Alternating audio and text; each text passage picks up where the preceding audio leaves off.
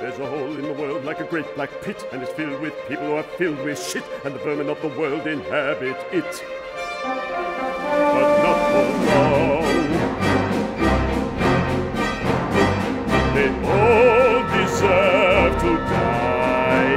Tell you why, Mrs. Lovett, tell you why. Because in all of the whole human race, Mrs. Lovett, there are two kinds of men and only two. There's the one staying put in his proper place, and the one with his foot in the other one's face. Look at me, Mrs. Lovett, look at you. Though we all deserve to die. Even you, Mrs. Lovett, even I. Because the lives of the wicked should be made brief, for the rest of his death would be a relief. We all deserve Johanna.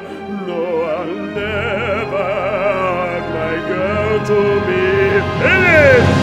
All right, you sir, how about a shave? Come and visit your good friend Sweeney. You sir, you sir, welcome to the grave. I will have vengeance.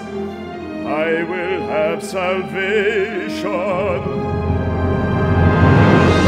You, sir? You, sir? No in the chair. Come on, come on. Sweeney's waiting. I want you bleeders. You, sir. Anybody. Gentlemen, now don't be shy. Not one man. No, not ten